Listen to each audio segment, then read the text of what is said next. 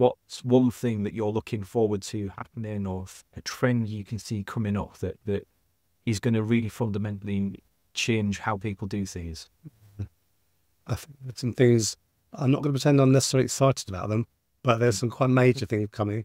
Uh, I'm probably more scared by them, in fact, if I'm uh, going to be honest.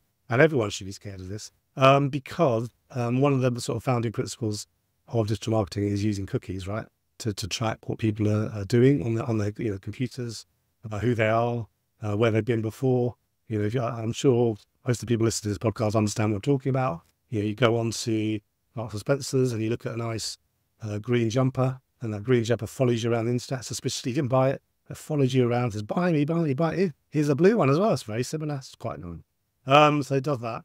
Uh, so that's all based off seeing cookies. Um, and that's the way that all kind of conversion tracking is done. Identifies you, tells the tells the person that you bought something off their website, tells Google uh, or whoever you're advertising with that that's happened, and it matches it all together so that you can report back to your advertiser that they've sold so many things uh, from the advertiser. Uh, that's all changing. So Google, its wisdom, and, and everyone really, um, due to sort of privacy concerns, I guess, there have been various scandals in the past. You know, Cambridge Analytica, all these different things that happened, and people have become concerned.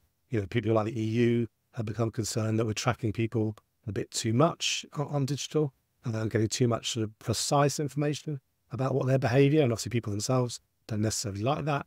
There is obviously this trade-off that you talk about you know, if, if you're using a free service, then you you're the product, your data is the product, which is true to a certain extent. You're giving up data to Google or Facebook in return for using a free, really useful service that you, you perhaps enjoy and find um, useful in your job or in your in your leisure life. Um, but in, in return, they're showing you some ads which may well be targeted based on your behaviour, both on their website, but potentially also um, going across the internet on a network of uh, sort of affiliated websites to Google or to Facebook or to other other social media um, platforms or, or, digital providers. Um, so yes, yeah, so there's a kind of trade-off there. Um, I would say, and I'm obviously massively biased, I would say what's worse than um, targeted ads? The answer to that is untargeted ads, because you're always going to have ads because these are services which are free. They have to monetize somehow. So unless we change the fundamental way the internet works today, which I'm not saying we, we should do that, maybe we should. Um, you know, if, you, if ever we all subscribe to Google or you all subscribe to all our newspapers that we read, our, you know, the football websites or whatever it is. If we all just paid a subscription or a micro payment every time we read an article, then we